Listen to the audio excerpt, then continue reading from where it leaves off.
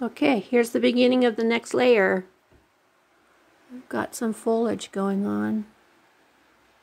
I really love how the dark of that silhouette plays against that sky. That's just, uh, it's yummy. It's really funny what my camera does too when I'm focusing on the area where it's got some blue in it, it really lights up that sky and that is the true color. But when I bring it down here and take the blue out, see what it does? Cameras are a funny thing.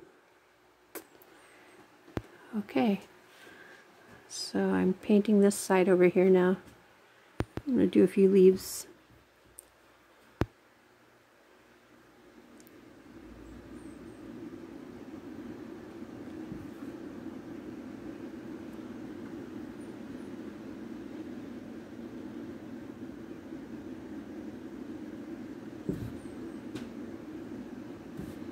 Yep, those look like leaves. I decided this is a live oak.